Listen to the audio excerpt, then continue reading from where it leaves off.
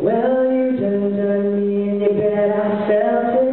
I tried to be chill, but just so hot that I melted. I fell right through the cracks, and now I'm trying to get back. Before the cool done run out, I'll be giving it my bestest. But nothing's gonna stop me but divine intervention. I reckon it's again my turn to win some